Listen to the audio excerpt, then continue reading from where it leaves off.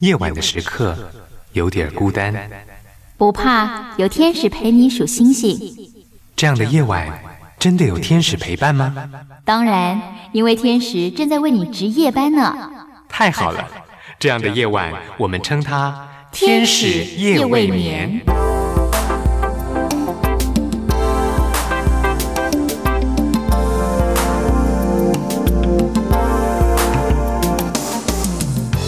救恩之声广播中心策划制作。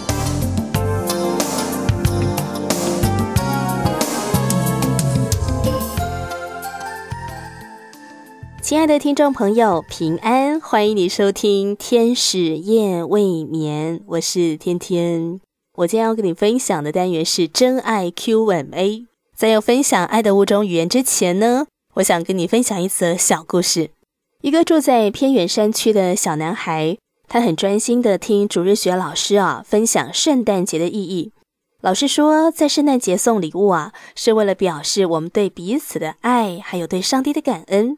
而耶稣呢，就是上帝赐给人类最大的礼物了。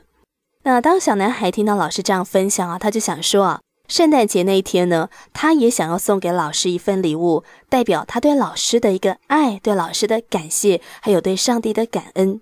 于是小男孩呢，就花了一些时间呢，找到了一颗闪闪发亮的鹅卵石。当老师收到的时候，非常的惊讶：“哇，孩子啊，这个鹅卵石好漂亮啊！你在哪里发现的呢？”小男孩得意地告诉老师说：“老师啊，我走到五公里外的溪边，才找到这个非比寻常的石头呢。”老师说：“哦，它真是太漂亮了，我一定会好好珍惜的。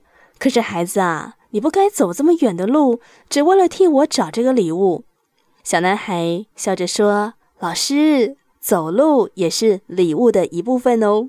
”哇，走路也是礼物的一部分呢。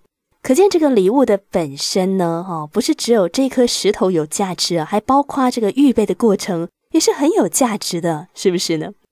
当我们收到一个人送你的礼物的时候啊，除了看见说哇这个礼物你喜不喜欢之外，诶，我们是不是也有看见预备礼物的这个人他的心意？他其实也花了很多的时间在预备呢，这个也是这个礼物的一部分呢。所以，当我们用心的预备哦，让收到礼物的人呢，真心的感受到这个礼物，才会发挥出那个最大的价值来。在我们今天要继续来分享盖瑞巧门博士他提出的五种爱的语言。那这五种爱的语言呢，分别是肯定的言语、精心的时刻、精心的礼物、服务的行动，还有身体的接触。每个人所需要的爱的语言都不同。当我们能够了解彼此不同的爱的语言，并且愿意呢坐在对方的需要上面，这就是一份珍贵的礼物啊！所以，亲爱的朋友啊，你是否了解你自己的爱的语言呢？而你是否了解你所爱的人他的爱的语言呢？当我们用心的来认识对方的爱之语，用心的来预备你所要送给他的这个礼物哦，不论是有形的或是无形的，但是当我们真诚的给予对方，都能够发挥出好的效果来哦。我们今天要分享的爱之语呢，就是肯定的言语。对于一个他本身的爱之语呢是肯定的言语的朋友，我们可以怎么样向他适时候的表达呢？而如果我们自己本身的爱之语呢，就是肯定的言语。当我们好像从人的身上好像很难去得到那个肯定赞美的时候，该怎么办呢？就来听听光临老师的分享。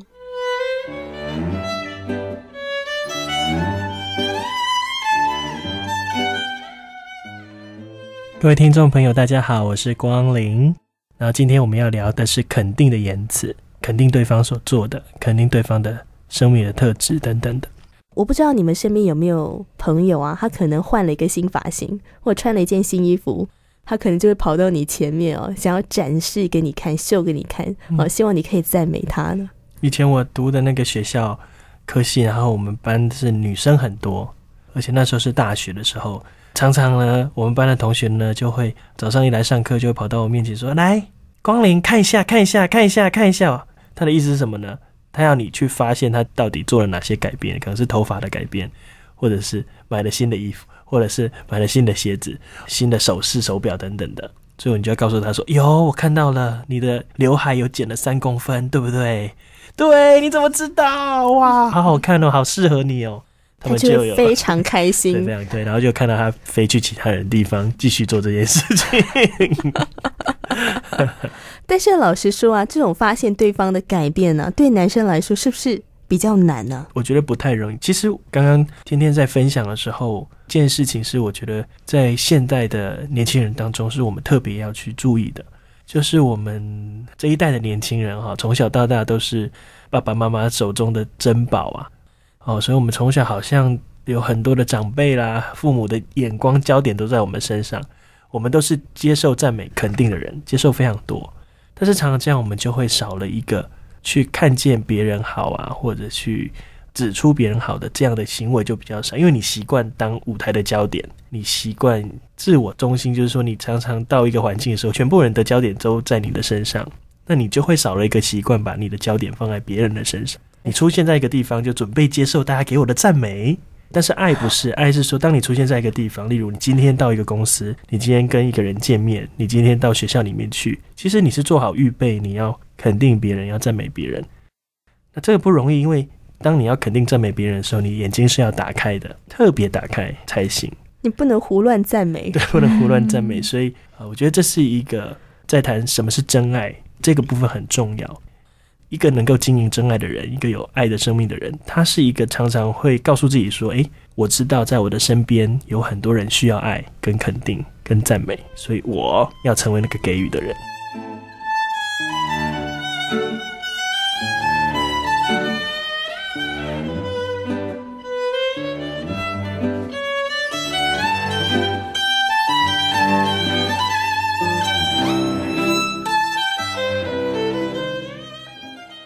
有一些的朋友啊，可能是因着他原生家庭的缘故哦，嗯或者说他从小呢，他这个后天环境的缘故，所以他比较困难去肯定别人。像我身边有一个跟我很好的一个异性朋友，从小呢，他父母呢非常非常少给他肯定的，所以他从小接受到的呢，就是他一定要很努力、很努力，他才配得接受赞美，是甚至他会觉得你努力就是应该的。常常这样的人走到极端，他就会变成完美主义，就会变成一个完美主义的人，所以所有在他身边的人都会觉得很不自在，因为他的标准很高。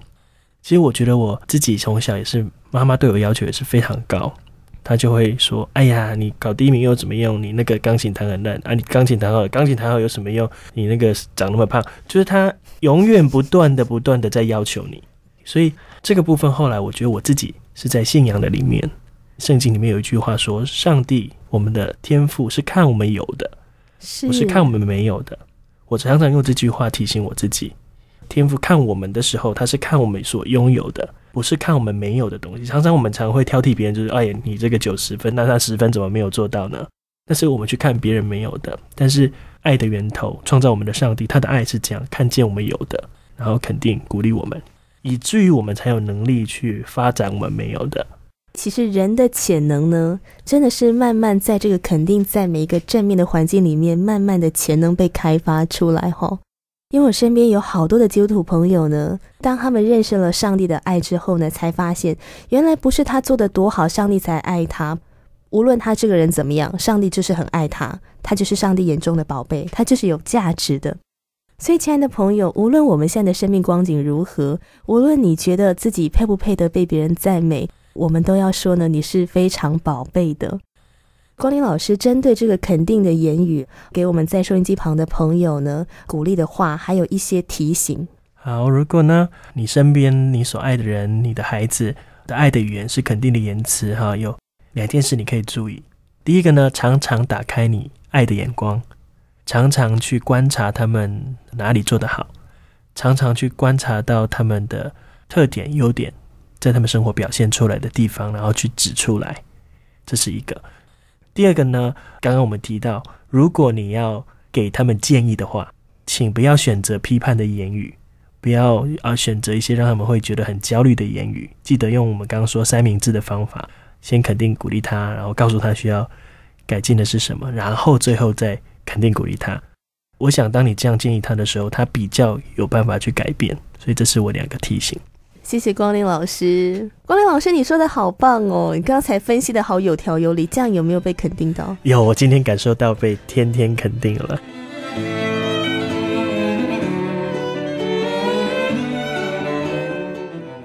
今天在单元当中呢，谈到这个爱的五种语言当中的肯定的言语。我们的家庭呢，可能都不是这样一个完美的家庭。也许我们的父母、我们的朋友，并没有很常给我们这样的肯定，但是没有关系哦，因为我们有一个天赋上帝，他非常的爱我们，在爱当中，他是不断不断肯定我们生命价值的神。那亲爱的朋友，如果你针对这个话题呢，你有任何的想法，你都可以写信给我们哦，抽个空写信给我们，或是写信给光临老师。很期待收到大家的信哦，是我们真的非常的期待，所以欢迎你呢多多写信来。最后，谢谢光临老师，谢谢各位听众朋友，亲爱的朋友，我们下次再见。我愿与你坦白，毫不隐瞒，只愿你陪我上山下海。我愿与你分享喜怒哀乐，只愿你不让怒气过了夜。我愿时时以你的心为心，只愿你的爱常常包围我。